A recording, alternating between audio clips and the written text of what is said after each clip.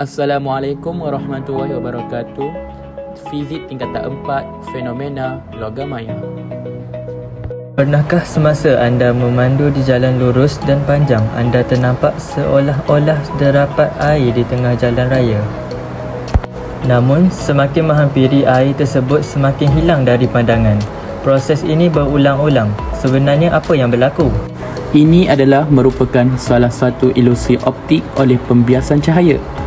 Sebenarnya, yang diperhatikan oleh pemandu adalah satu pantulan langit yang lebih dikenali sebagai fenomena logam maya. Bagaimana ia boleh berlaku? Ia berlaku apabila cahaya merambat melalui lapisan udara dengan suhu yang berbeza.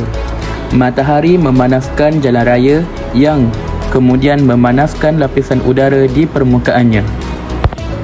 Lapisan udara yang dekat pada jalan raya adalah lebih panas dan kurang tumpak manakala lapisan udara yang lebih tinggi adalah lebih sejuk dan lebih tumpak.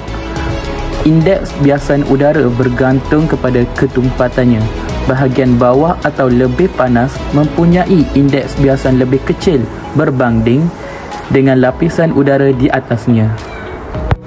Cahaya dari langit dibiaskan secara perlahan ke arah mengufuk selepas melalui lapisan yang berlainan ketumpatan. Akhirnya, ia bertemu satu lapisan udara dekat pada bumi pada suatu sudut lebih besar daripada sudut gentingnya. Pantulan dalam penuh berlaku dan cahaya dipantul ke arah atas. Jika mata pemerhati berada pada kedudukan yang betul, dia akan melihat lopak-lopak air iaitu imej langit muncul di permukaan jalan raya. Ia dikenali sebagai pantulan dalam penuh. Itu sahaja daripada kami. Sekian, terima kasih.